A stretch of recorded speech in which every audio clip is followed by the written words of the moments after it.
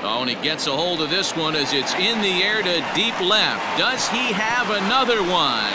He does. It's another home run.